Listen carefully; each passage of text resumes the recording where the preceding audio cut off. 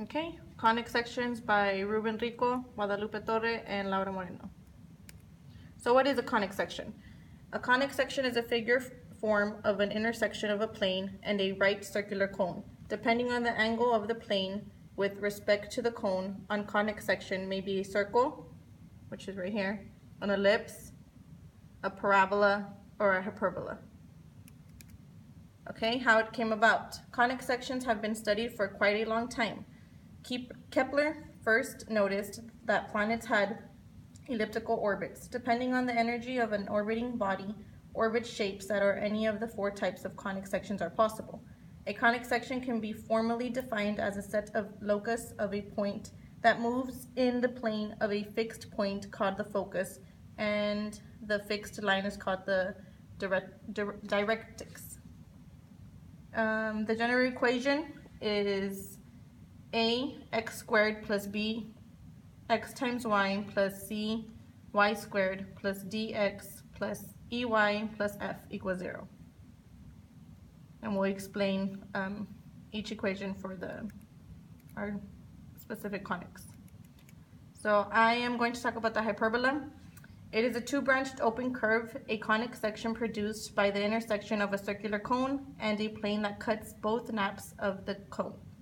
As a plane curves, it may be defined as the path, the locus, of the point moving so that the ratio of the distance from a fixed point, the focus, to the distance from a fixed line, the directrix, directrix is a constant greater than 1. The hyperbola, however, because of its symmetry, has two foci. So I'm going to explain the basic um, a basic hyperbola and we're going to, a hyperbola has, it's like a mirrored image. So for example, if we have this here, um, this is our vertex. I'm gonna name it A. This is our vertex. Then we have our branch vertex, which are these. Branch vertex. And then we have C, which is right here. And I'm gonna name this B, which is the distance from each other. Okay, a hyperbola is centered at the point hx. So hx would be our x and y. Um, the point on each branch closest to the center is the branch's vertex, which is these right here. Uh, the vertex are some fixed distance A from the center. So these are fixed and as well C. C is always fixed. Um, the line going from one vertex through the center and ending at other vertices called the transverse axis. And the foci of a hyperbola are inside each branch and each focus is located some fixed distance C, which is this one, C. Um, that means that A is always less than C. Sorry, A is always less than C. And A and C may vary depending on the hyperbola, but they're always constant. So back to the PowerPoint. The history and fun facts of a hyperbola. So hyperbolas have important reflexive properties. Rays directed towards one focus of a hyperbola are reflected at the hyperbolic mirror. These reflective properties are used in our everyday telescopes, cameras, and tracking systems.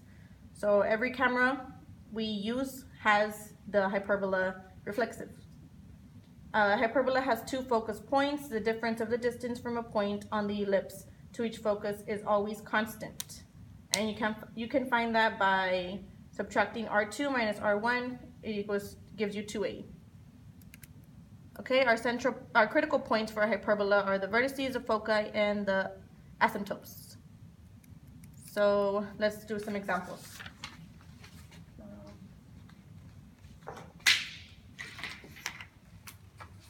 So if we have an equation, well, we're going to find the equation of this hyperbola.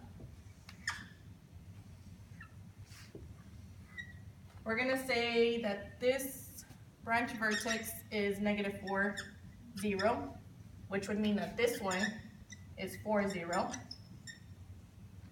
We're going to, there is a line here and two points here.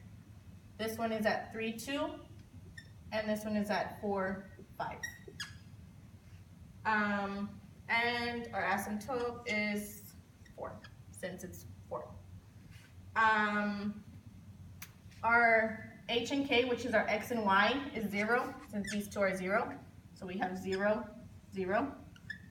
And our equation for our hyperbola is x squared over a squared minus y squared over b squared equals 1. So we're just going to plug in our information to get our equation for this type of hyperbola. We have a, so we have our h and k, a equals 4, this is our a, so a equals 4. We need to find b, to plug in over here. b, the way we find b is y equals um, b over a x, sorry, y equals plus or minus b over a x. We know that our a is 4, so we're going to have b over 4x plus or minus. To get, we know that our line is going up 1 and two to, 3 to the side. So we have, oh, sorry, this is supposed to be, this is 4. It's going up 1, 2 to the side. So we have y equals 1 over 2x. Since our asymptote is 4, we want to make this a 4. So we're going to multiply by 2. Whatever we do to the bottom, we have to do to the top. So now we're going to have 2 over 4x. So that's going to give us, that's our b, 2. So our b is 2. Now we're plugging everything into our original equation. So we have x squared over a squared, or a is 4, a squared minus um, y squared over b squared, our b is 2, equals 1. So we can just solve for this. We have x squared over 16 minus y squared over 4 equals 1. And this would be our equation for this type of hyperbola. Another example, is finding the equation when it's when we have our graph. So if our equation is they give us an equation of x squared over 1 squared minus y squared over 1 squared equals 1. So if this is our equation, we know that our center is 0, 0.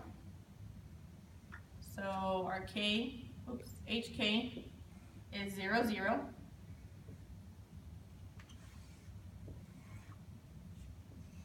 And we know that our hyperbola is going to be the same. 0, 0. Since it's 0, 0, it has to be here, 0. And our A, remember this is our A, our original hyperbola equation is a squared minus y squared over b squared equals 1. So this is our a. Our a is 1. So this is going to be negative 1, 0, and 1, 0. Okay? Our b is 1 as well. So we're going to have another line here. And it can be plus or minus, so we can have another one here. And so we have A equals 1. Sorry, A equals 1. B equals 1. We're getting them from here. And that's our hyperbola. Okay? Now, uh, Lupita will go over the parabola.